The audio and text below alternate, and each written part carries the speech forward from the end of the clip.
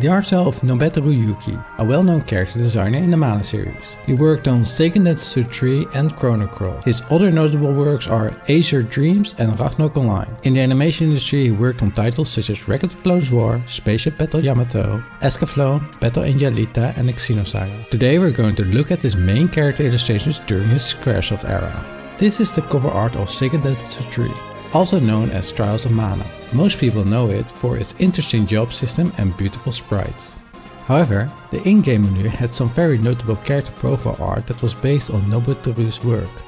The player can choose between 6 main characters. Duran is a strong-willed fighter that is the original main character of the game. His design was based on Conan the Barbarian, giving him minimal gear and a lot of exposed skin. His long heavy hair represented his strong will to always move forward. His purpose was to be a neutral hero so that other characters could stand out more. Angela is a magician princess who has a strong personality. Due to her circumstances, she sometimes shows a glimpse of loneliness. She was designed to have more major features than Prim from Secret of Mana. What I like about her is that she clearly shows that if she is a Magus class, she's quite evil and as a Grand Diviner has a gentle expression. Hawkeye is conflicted thief whose basic design was inspired by a young Vega from Street Fighter 2. His long straight hair is tied with a Japanese string that was intended to show his confidence and symbolize his sense of camaraderie. Nobuteru didn't want him to be a standard ninja, which were popular during that era, but still went for the poses that gave the impression. Riesz, the Amazon princess of the conquered kingdom of Roland. She is determined to search for her little brother and was designed as a maiden Peter Pan. To make her more appealing, Nobuteru made her skinny. That said, she has a polite personality and is well mannered. Kevin is a grappler from the Beastman Kingdom, equipped with a barret and zebra clothing to show his wild roots. His personality is straightforward. When injustice is involved, he forgets everything around him and wants to settle the score. The initial intention was to give him the most unique character appearance of the game. Hence, while designing his claws, Nobuteru thought of hooligans and the evil version of Goku for the hair. Carlie is a cheerful and childish cleric. Despite this, she hides a deep sadness inside her. Her appearance was based on Popoi from Secret of Mana. However, Nobuteru stated that he had an Italian baby doll in mind while fleshing her out on paper.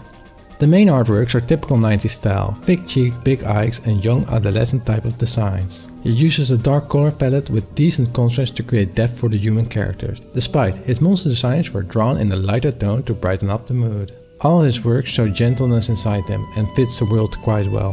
He created the mana spirits with a chibi design. These characters have stereotypical personalities, and thus I think it suits them. Another well-known Squaresoft game Nobuteru Yuki worked on was Chrono Cross. He changed his style into something more unique. In all honesty, I was quite surprised that the artist of Chrono Cross was the same as Seiken 3. Because if we look closer at the style, it's quite different. The characters show more maturity and have less of those 90s style features. The head, limb and body ratio are way more realistic. In addition, the coloring is darker and more saturated in tone. Nevertheless, if we look at the eyes and gentle expression, we can see the familiarity with his other works. Even though the hair is less exaggerated than in his previous designs, he does love to draw hair in big chunks. Despite all this, Chrono Cross has some really well crafted characters. Serge was drawn as a 17 year old teen dressed in casual clothing, suiting the dress code of a fishing village. His bandana stands out and his inverted Venus necklace show his masculine nature. Kit is classified as a mysterious traveler, but clearly has a thief-like design. Her appearance is lightweighted and agile. The white war paint on her cheeks and her arms adds to her confidence. She has a Venus symbol on her dagger, symbolizing femininity. These are some of the complex dream art. I find it interesting to see them in a brighter tone than Nobuteru's original designs. In my eyes, the artist still maintained the character personalities in his works. As a bonus, I had to add some of Nobuteru's Record of Lodoss War illustrations. Here we can see Deedlit and Parn in full glory. You can clearly see the 90s style and it's definitely a lot more aligned with Seiken Densetsu 3.